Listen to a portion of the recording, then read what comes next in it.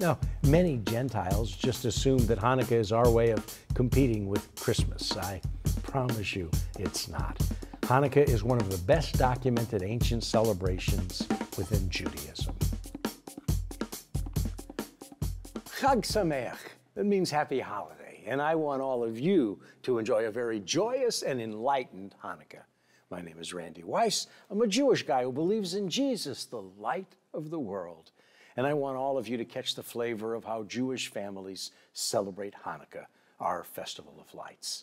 Literally, Hanukkah means dedication. Jewish children light candles on each of the eight nights of, the, of Hanukkah, calling to remembrance the rededication of our ancient temple after it was desecrated by pagan invaders. During this festival, children play a special dreidel game to commemorate the legend of the miracle of the Hanukkah story. The dreidel carries a letter on each of the four sides as an acronym for the famous declaration about our holiday. The letters are Nun, Gimel, He, Shin, and they stand for the words Nes Gadol Haya Sham, meaning a great miracle happened there as within most of our traditions, they're passed down lador vador from generation to generation. And we teach our children the tale that we only had enough sanctified olive oil to burn in the temple lampstand for one night. And the great miracle celebrated is that one day, a supply of oil, a one day supply of oil, lasted eight days, allowing for the purification of the temple after the wicked pagan ruler from Syria sacrificed a pig on the altar of God. But it is still an important festival for both Jews and Christians.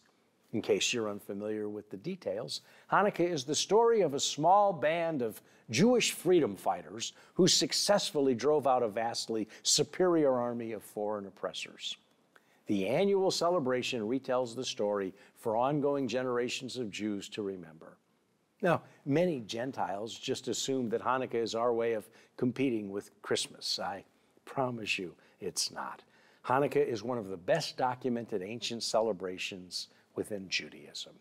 And this story of the rededication of the temple is recorded in both the first and second books of Maccabees within the Apocrypha.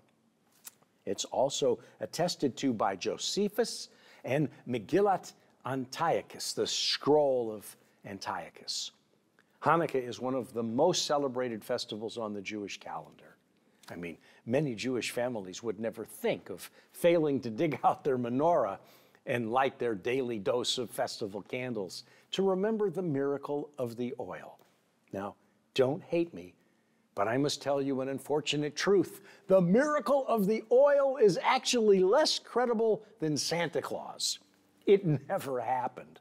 The plain truth is that if you're looking in the Jewish scriptures for the famous eight day miracle of the Hanukkah lights, you'd have a better chance of sighting Elvis because not one single reference exists in the Jewish Bible for either of them. Hanukkah is simply not to be found in any Jewish Bible. Now, as I want you to know, that's not a shocker. You see, the events surrounding the first Hanukkah did not take place until several hundred years after the last book of the Hebrew Bible was written. Our Bible was finished before Hanukkah happened. Therefore, the Hebrew Bible is silent about Hanukkah because the canon of Jewish scripture was already closed. But what about the miracle of the oil?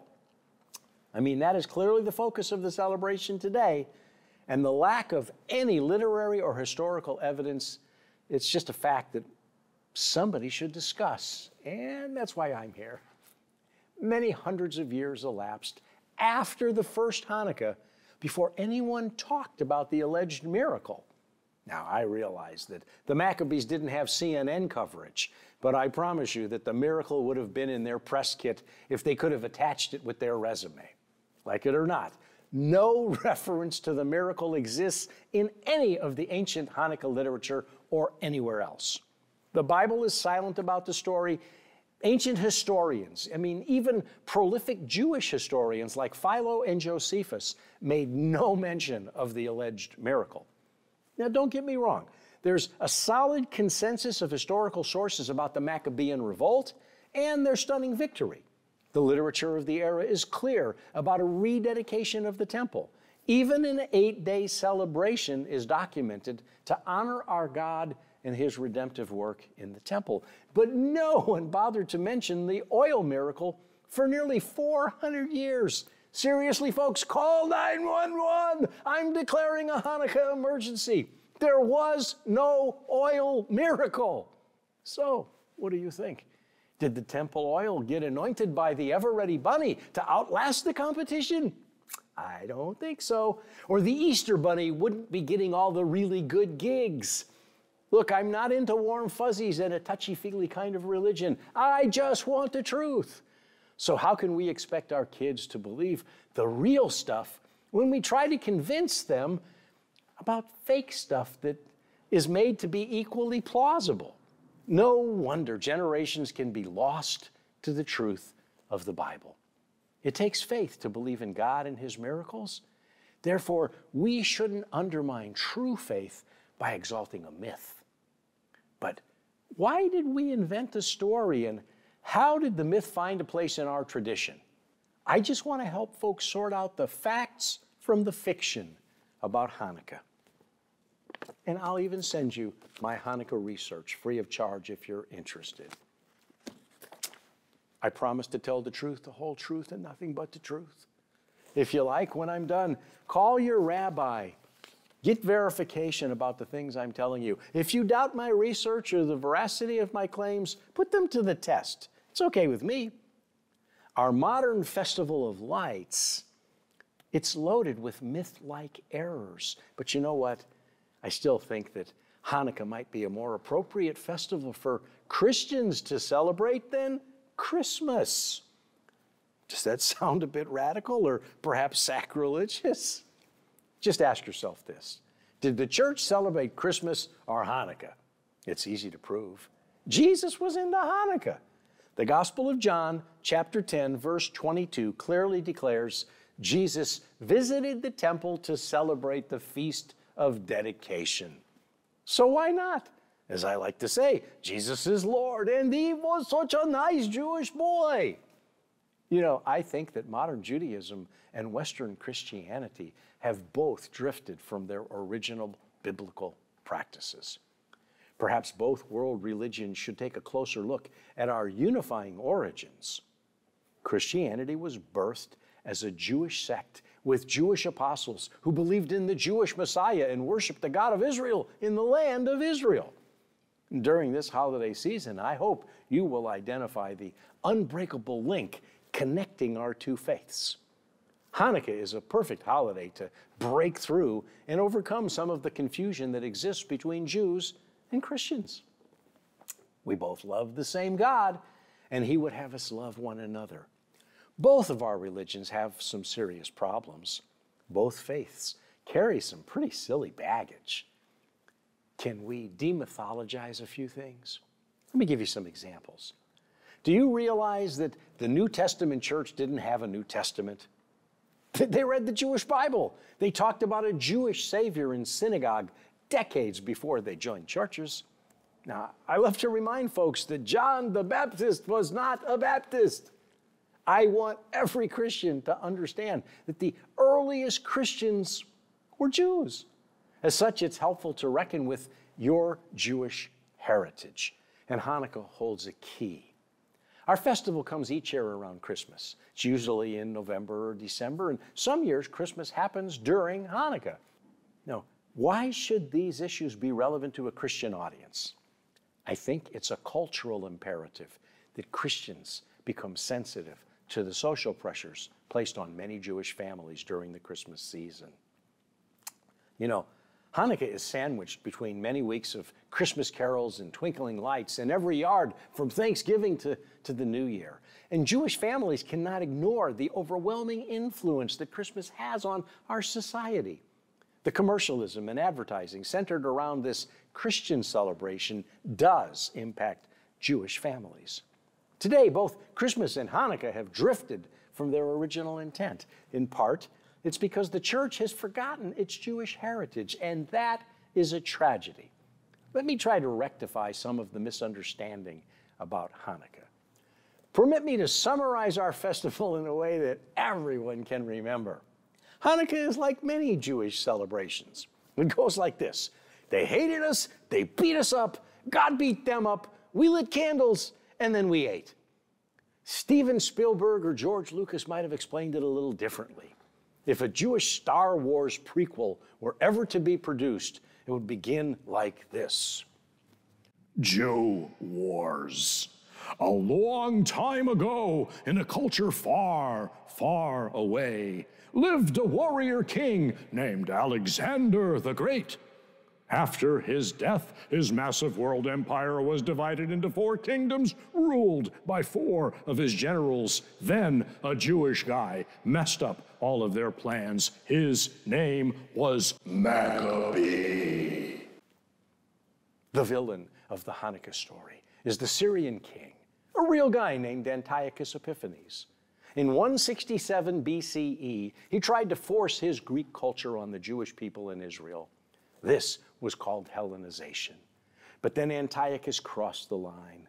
He commanded the Jews to leave their children uncircumcised and make their souls abominable with all manner of uncleanness. And whosoever would not do according to the commandment of the king, he said he should die. Some fearless Jewish women refused to obey the king, even though they knew it would lead to their death. Antiochus then performed heinous crimes at his orders. The Syrian army put to death certain women that had caused their children to be circumcised, and they hanged the infants about their necks and rifled their houses and slew them that had circumcised them. Circumcision is the most ancient sign of God's covenant with the Jewish people. This command goes back to Abraham, where God told him the details of the covenant and instituted the sign of circumcision. God instructed that it be the enduring sign throughout every generation in perpetuity. The Syrian king was forcing the Jews to submit to a new God and a new law. Sadly, many compromising Jews succumbed to popular religion. They fell into idolatry and gross sin. Some Jews joined Hellenistic gymnasiums and were completely lost to pagan culture. The gymnasiums promoted open homosexuality. Some ancient Jewish men actually underwent cosmetic surgery to remove the appearance of circumcision. But God has always had a people who would stand for truth. Like martyrs of every age, these saints of God defied an earthly ruler to keep faith with their heavenly Lord. They honored God above King Antiochus. Hanukkah reminds us of their character of faith, the blessings of freedom, and the outstretched arm of God's deliverance. And this is the context from which our celebration arose.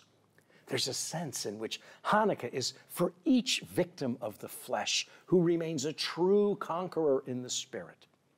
Do you realize that Millions of religious people are called upon in our time to stand for God at the cost of earthly suffering. This is not an exaggeration.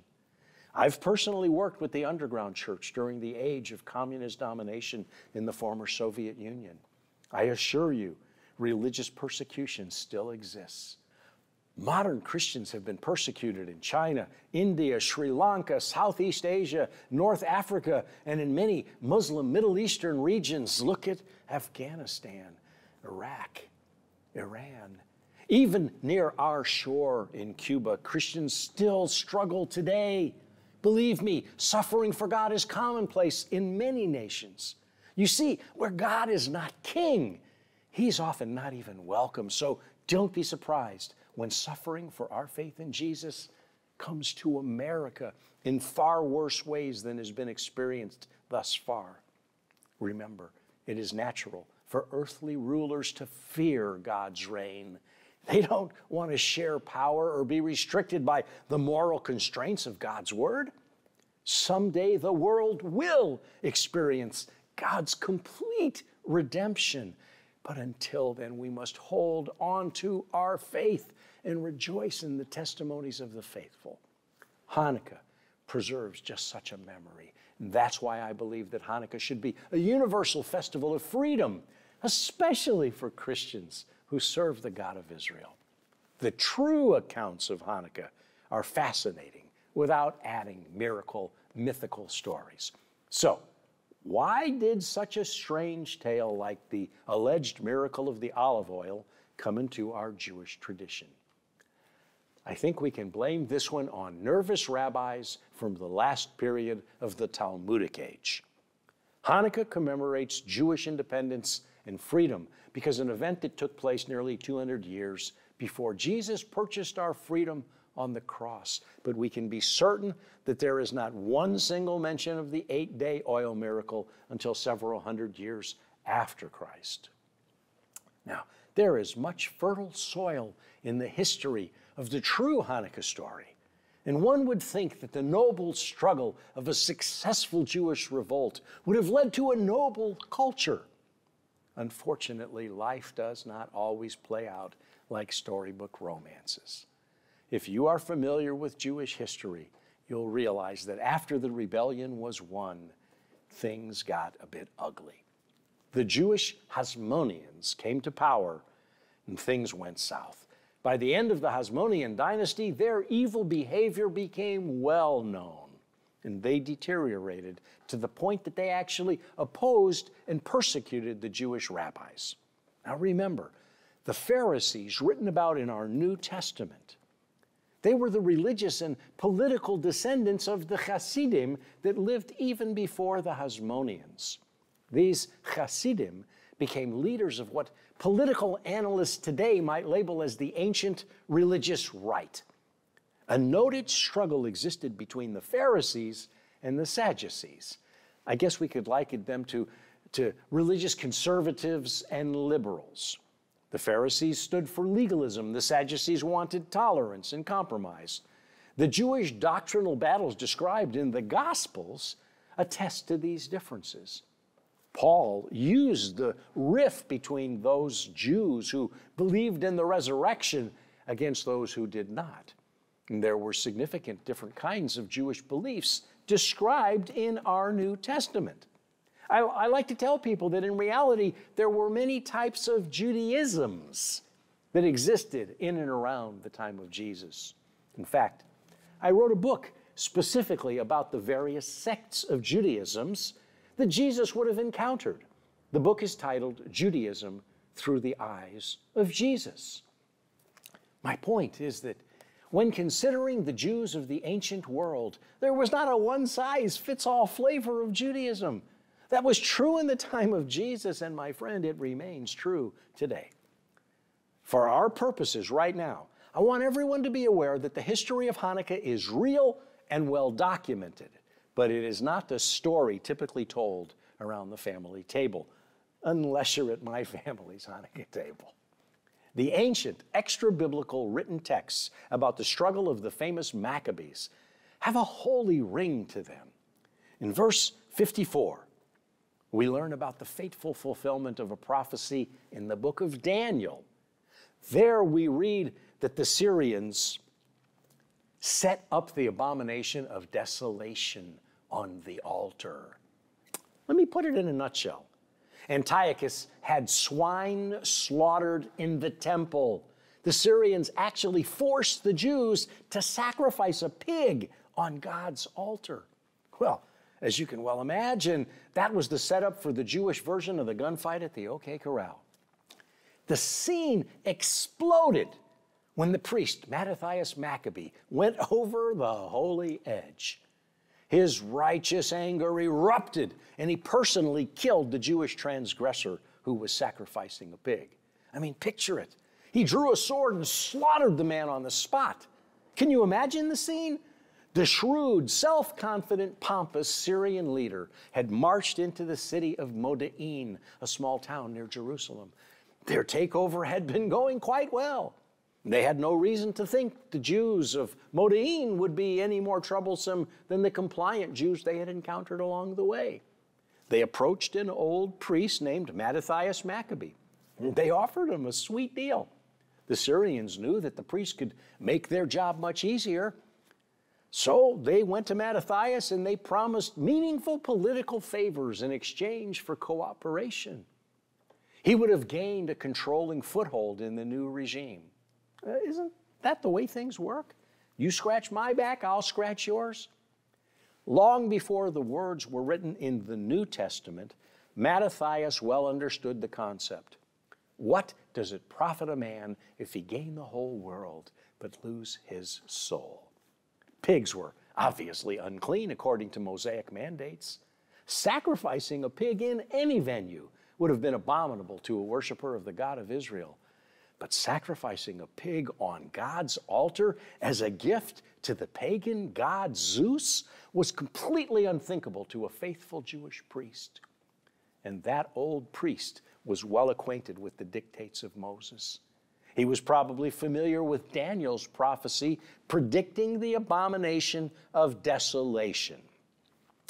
Maccabee simply refused to tolerate such evil. Now, don't get confused. I, am not discussing opinions about prophecy or when the rapture will take place. This is not eschatological supposition or sensationalism. I'm not speaking about actions of the Antichrist during the tribulation.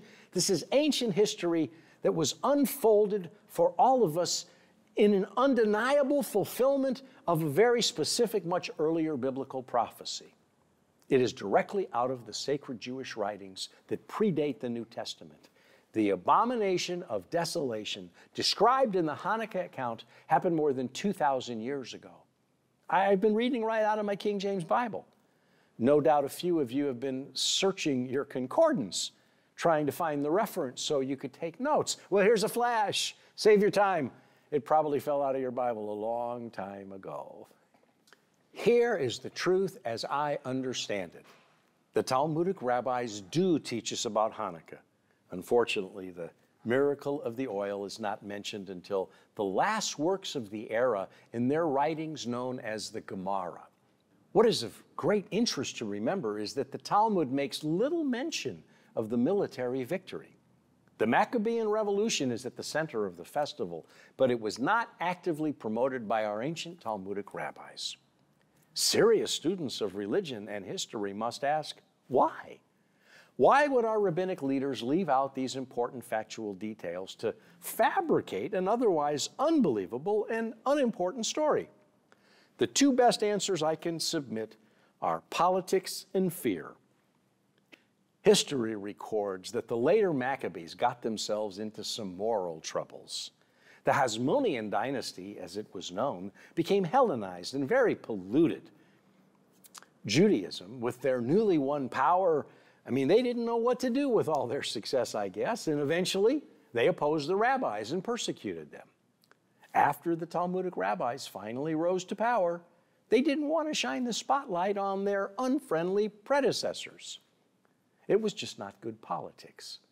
The other reason, in my view, was fear. I think the rabbis were afraid that if the Jewish rank and file were reminded of the glory years, they might get bold and demand independence all over again. I mean, God had gloriously delivered them from Syrian oppression under the Maccabees. But later efforts to find freedom did not end so well. Each rebellion that followed was violently put down. And by the time of the rabbis living in the fourth or fifth century of the Common Era, they just couldn't handle another failed bloody revolt. They were tired of wars and unrealized expectations. Their collective memory of the death and destruction delivered by Rome during prior centuries was too fresh and painful to ignore. I believe they wanted to shift the emphasis from a festival exalting revolution and victory to a toothless, truthless holiday that was non threatening and non violent. Hence the creative invention of a safe miracle that just never happened. Now, I, I, don't want my Christian friends to get cocky about this. Don't look down on us for inventing a distraction. I mean, have you done any less with your Easter bunny? You pass out sweets and send your children on a simple search for Easter eggs hidden on broad paths for all to find while the resurrected Son of God calls men to the sweetness of eternity on a difficult search along a narrow path that only a remnant will find.